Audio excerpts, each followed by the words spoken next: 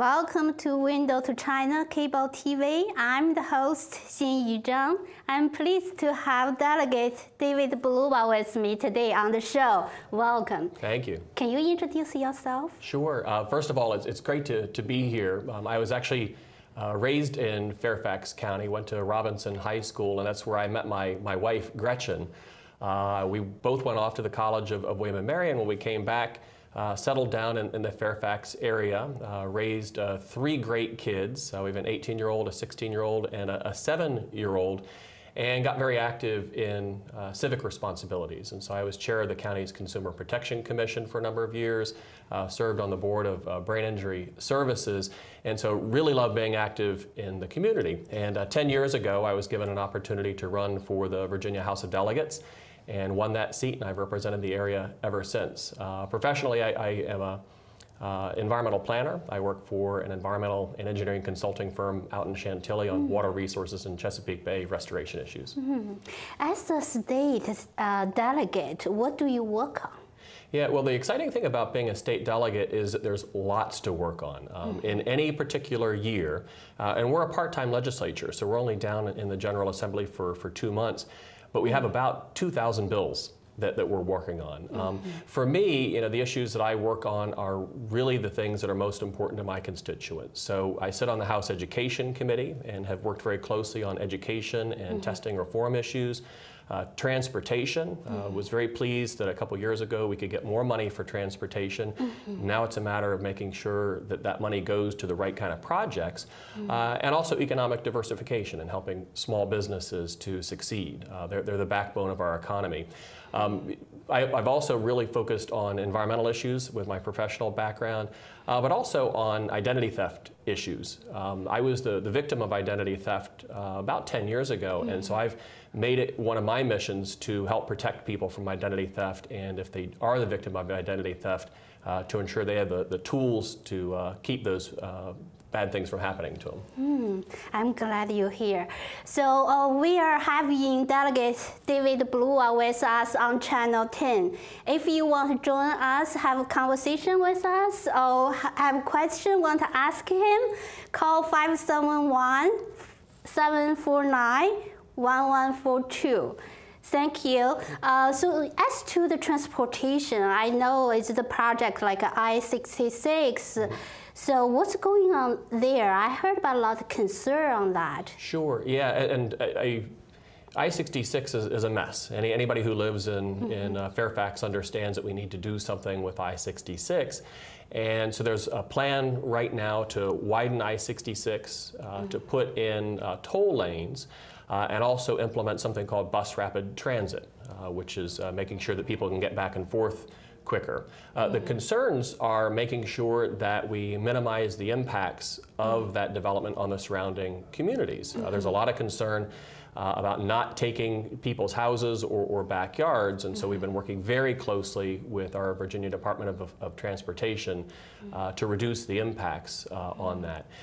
For me, you know, the whole issue of transportation is that it needs to be multimodal. Um, you know, we can fix I-66 um, make it more efficient and effective, but we also need a lot more in this area to get transportation moving. And so we also need to focus on fixing bottlenecks, mm uh, such as the intersection of I-66 and Route 28, mm -hmm. uh, and that's actually a project that's in the works, uh, as well as uh, getting the metro out to Centreville mm and mm-hmm. Gainesville, and finally using technology to make our existing infrastructure uh, used better. Um, and so timing our lights better, things like that, so that we can get better use out of our existing roads. Hmm.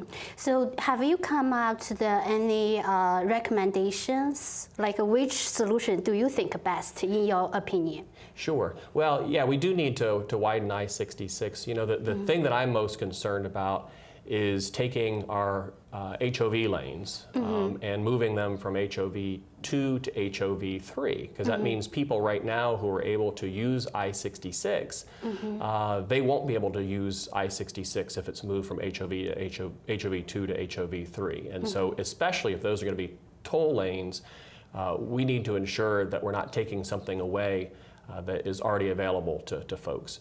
But you know, again, it's a it's something that we need to have an all of the or all of the above strategy. Uh, mm -hmm. we, we mm-hmm. can't pave our way out of our transportation crisis here in Northern Virginia, Mm-hmm. and yet fixing transportation is essential to our economy. Uh, businesses will stop coming here if, if we don't do something about it. Right, I agree about that because the traffic congestion really hurt the people's quality of life. Sure, you yeah. know, the people concerned, really concerned. But but I just think about if people change their life habit, Mm-hmm. then to like help them go out, to get more trails or paths. Right. They help them to get out by bicycling or walking, Yeah.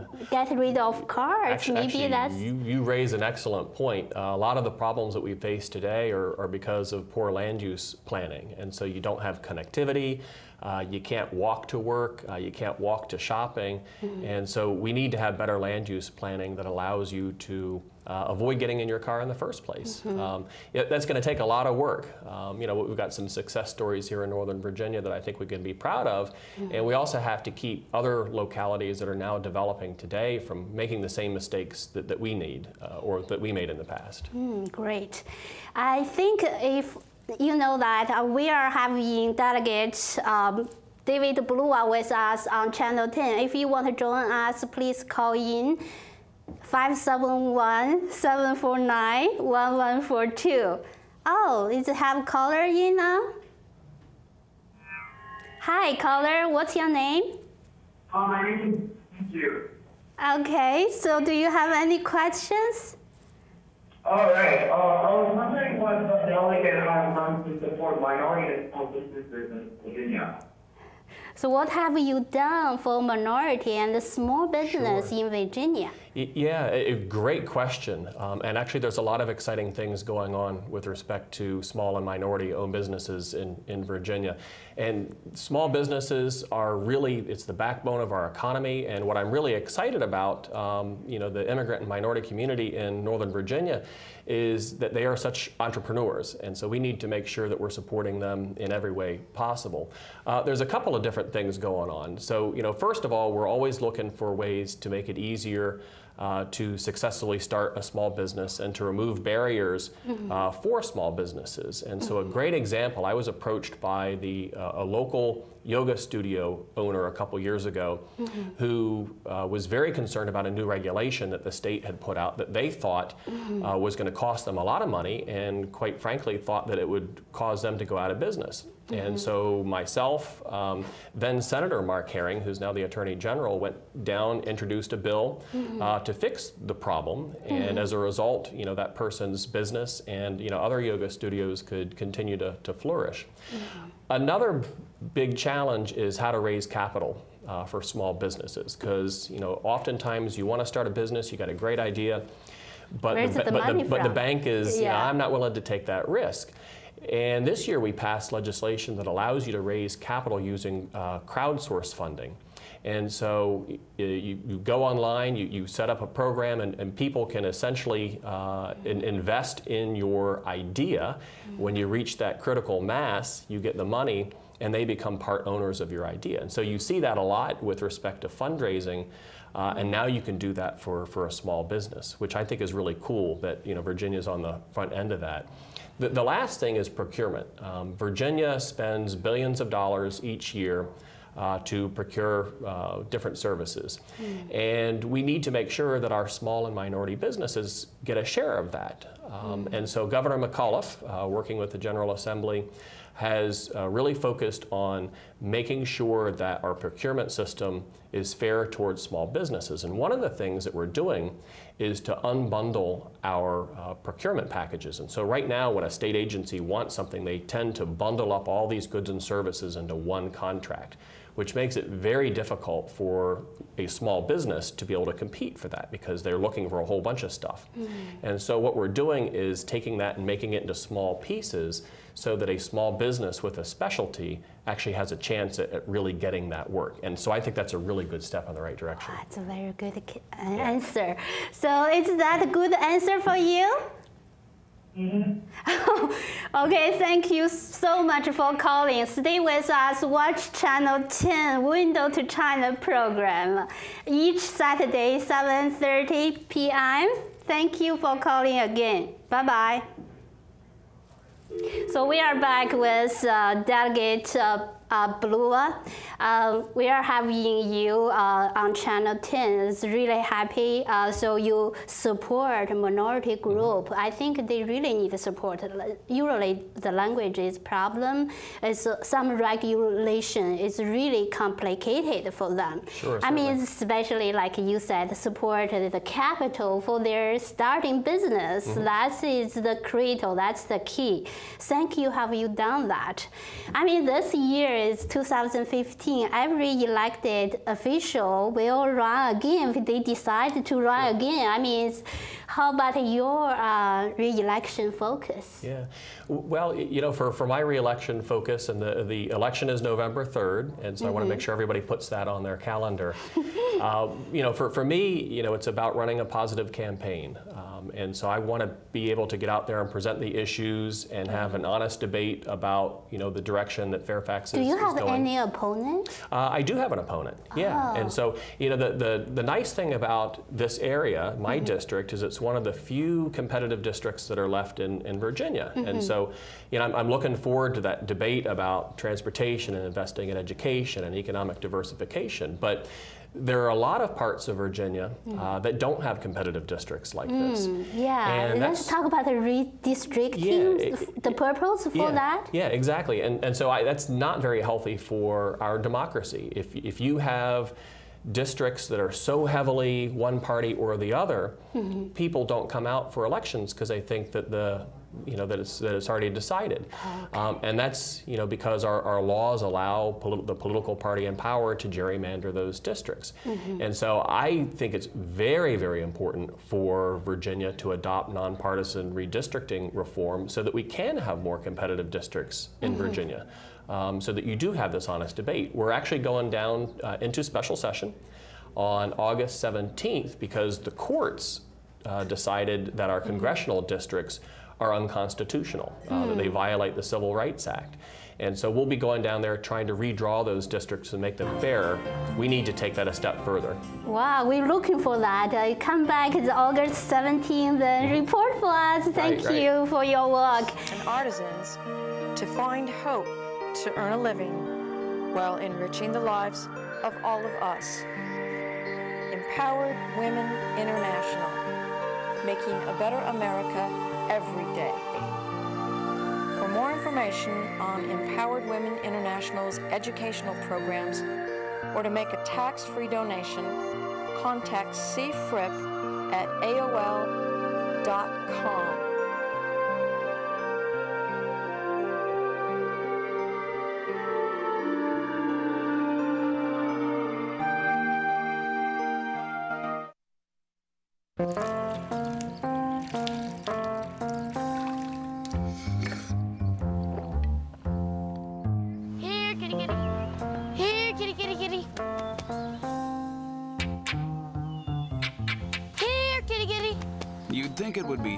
tell which kids have trouble with their eyesight. But that's not always the case. Even though one in four children may have a vision problem, eye doctors tell us the symptoms aren't always so obvious. We do know that 80% of all childhood learning is visual. And without good vision, kids can have trouble learning to read and may fall behind in school. For clues on how to spot the real life signs of childhood vision problems and what parents can do, visit checkyearly.com. A public service message from the Vision Council of America and Reading is Fundamental.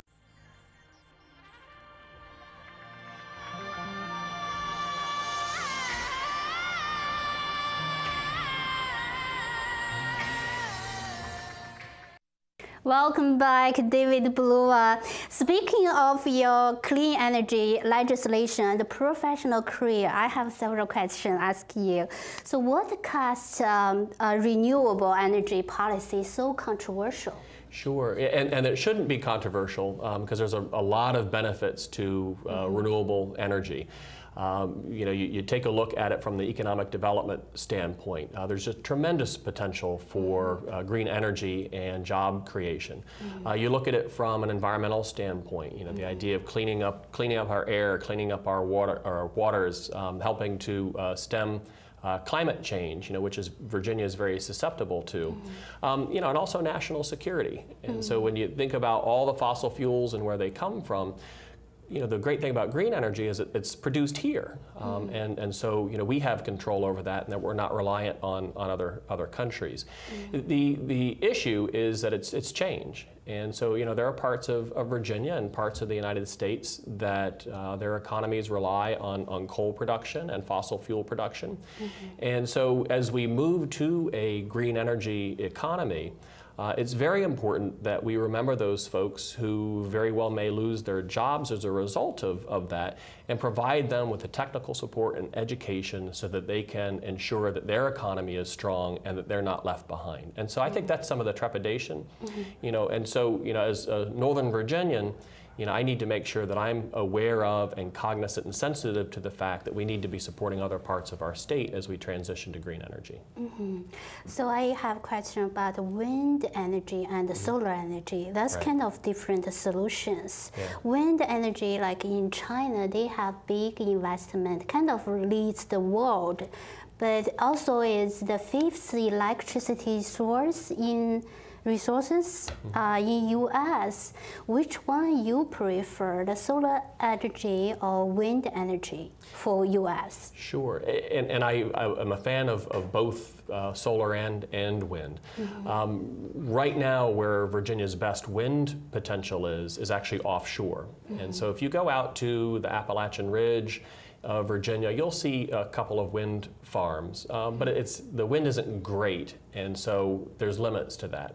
Uh, we created a wind energy development authority in Virginia that is looking at how do we get energy from offshore wind power. And so I'm very excited about that prospect. Mm-hmm. The, the, great thing about solar is that you could put it anywhere. And so when you think about all the rooftops, all the parking lots, you know, mm-hmm. all the space in, in Virginia mm-hmm. that, that, you know, you could put solar panels, mm-hmm. it's pretty amazing. And so, you know, I, I think that's just got a, a tremendous amount of, of, potential. The, the shortfall is, is it when it's not sunny out, you, you need a way to store that electricity. Mm-hmm. And so we need to ensure that we're investing in uh, battery technology to be able to store that, you know, as, as well as backup power, you know, so that if you don't have a source of, of uh, wind or um, solar, you know, that you still have electricity that's affordable for folks. Mm-hmm. What do you think is the burden for, like, uh, the difficulty for starting the solar business?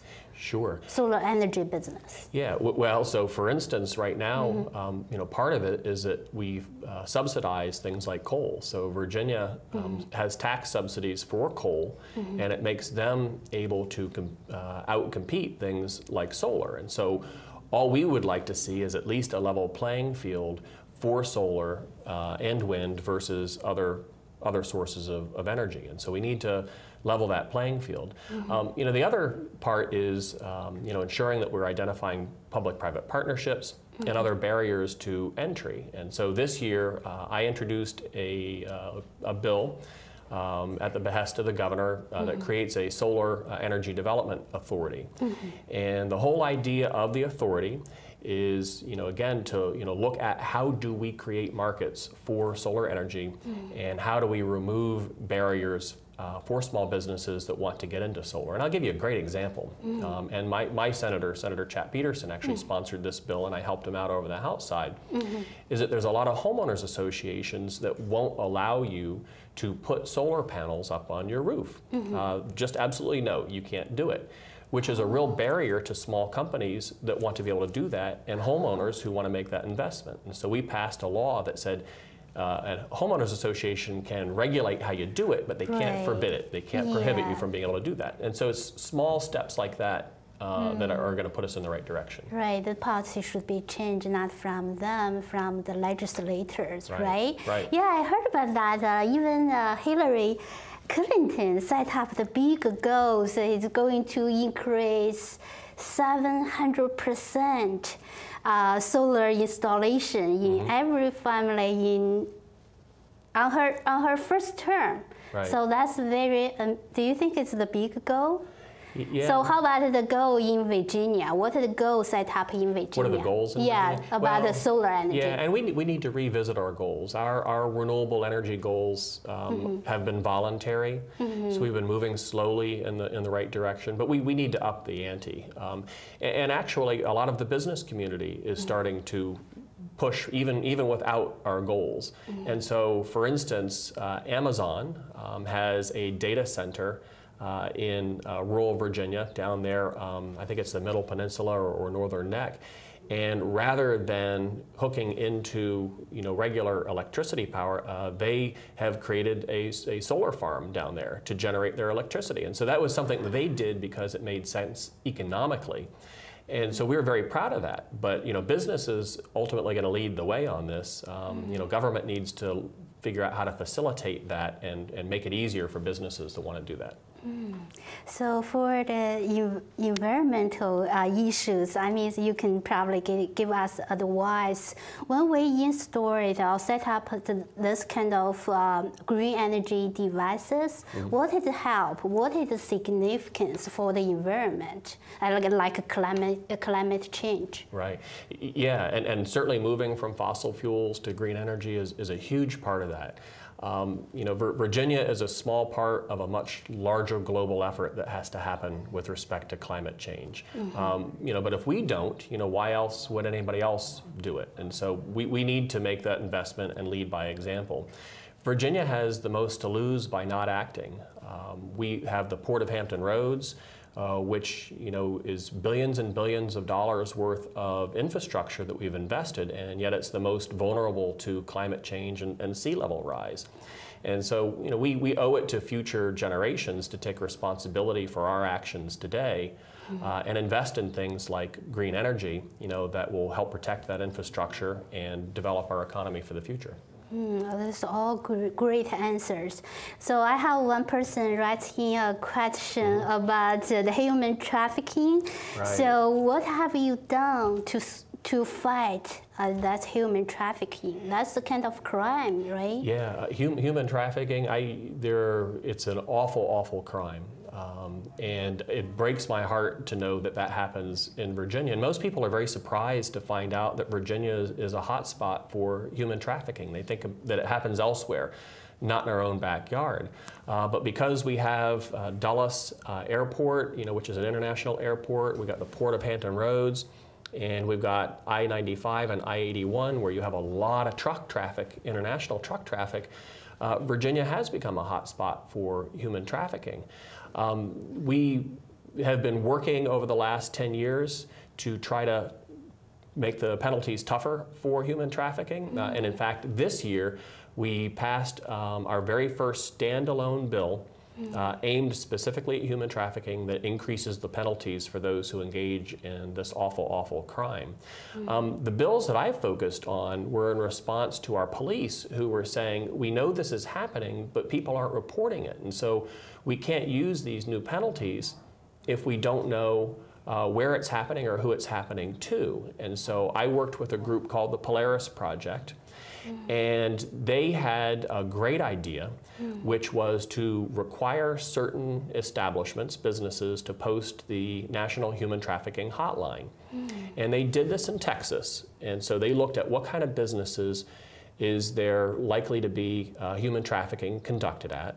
And then you require this to be posted so that somebody who might see something suspicious or you have a victim, they know where to call. And so we passed a law in Virginia. It was my bill to require this hotline be posted at uh, adult entertainment um, venues as well as truck stops. Because as much as you know, truckers are, are generally very good people. Um, you know, this is where human trafficking happens. The great thing about it is that it's, it's really working. Um, You look at the statistics, and there's so many more people calling to report human trafficking in, in Virginia, and that's a really good thing. So that mm-hmm. those people who are victims of human trafficking mm-hmm. can actually get the help that they need. And mm. so we've gone from being way behind on human trafficking in Virginia to really leading the pack, and I'm very, very proud of that. Mm-hmm. If some victims are like from other countries, what do you do with them? Sure. Well, and, and that's that's been part of what we've been working on is you know recognizing that these are really victims because oftentimes they're sex crimes. They're they're put into sexual servitude, and you don't want to treat them um, Badly. Yeah, badly. And so we've, we've got to train our, our courts and our police to understand that these are victims and that you need to provide them with the support and the help that they need and deserve because they've been through just an awful ordeal. Great. So uh, uh, thank you so much having you. So uh, if you want to get more information, please check uh, David Bulova's uh, website. What is his website is? Sure, it's uh, www.davidbulova.com and you can also reach me on my Facebook page.